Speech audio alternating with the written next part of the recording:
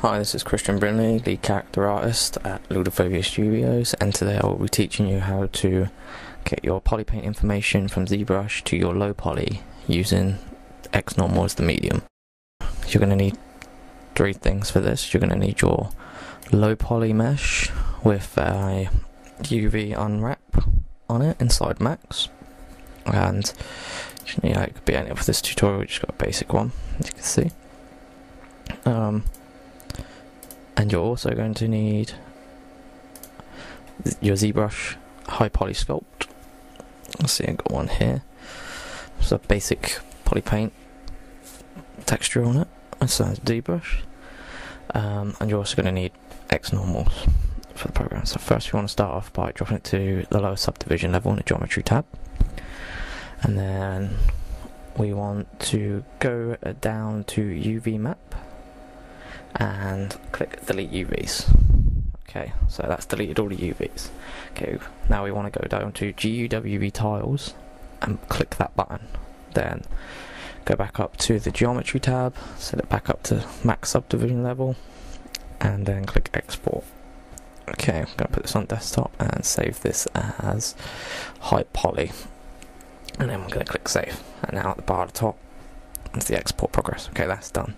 Okay, now we want to go down to, to the texture map and click new from polypaint. Okay, now you can see it's right there. There it is. Now I want to click clone texture.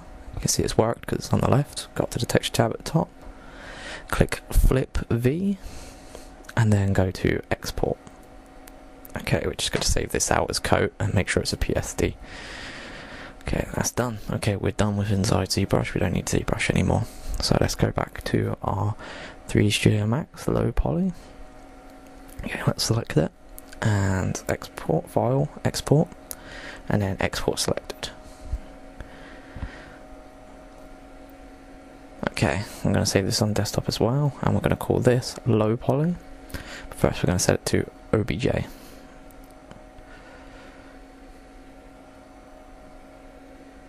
Okay, click save. Okay, for the settings, we're going to go down to the present and set it to ZBrush, and then click export.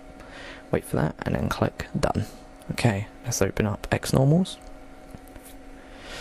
Okay, we've got XNormals here, as you can see. We want to go to the high poly, high definition, and then in the file, we want to right click and click add mesh. And then here we want to put a high, high poly mesh, a high poly sculpt that we exported earlier. Okay, we want to go that high poly. Okay, and it'll pop up there. there we go. Okay, and then we want to go base, no, base texture bake. Click right click, and then add base texture bake, and then go to coat our PSD that we exported out. Okay, I'm going to set this to average normals because that's just a common habit I have.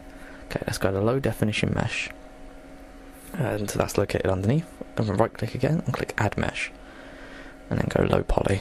Scroll a bit, set to average normals.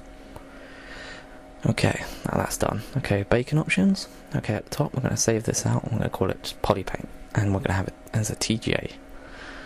Okay, all these settings I'm keeping. I'm going to tick normal map, and we're going to tick base texture to bake. I can't be bothered to play with all these settings. we go generate map. And we just sit here and wait for X normals to generate the maps. As you can see, there's our normal map. It's got a lot of artifact in, and it's very terribly baked because I haven't done any settings. Okay, there's our base texture to bake. As you can see, it's very low quality, and it doesn't have any. It doesn't have any cavity map, and it doesn't have an AO map, which you would do later in a progress. So it's very flat and bland. Um, here, at this, and okay, so that's XNormal's done. Let's close that. And let's go back into 3D Studio Max. We've got a low poly here, and let's see what that looks like on the model. Okay, let's add it as a diffuse. I'm not going. I can't. I haven't got any real-time shaders installed, so I'm just going to do this normal. Okay, let's go down, find it, and there it is. Let's select it. Okay, let's put it. Put it visible. Drop it on the model, and there it is. As you can see, it's uh, on the model, and that's the ZBrush information, as I said earlier. Okay, let's put the normal map on that quickly, just to get a quick example of the two working together.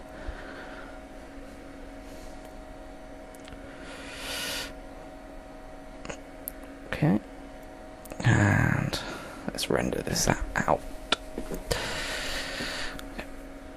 There we go. As you can see, the normal map working with the thingy, and as you can see, it has no AO or cavities, so the quality is not great that is how you bake it out. And thank you for watching.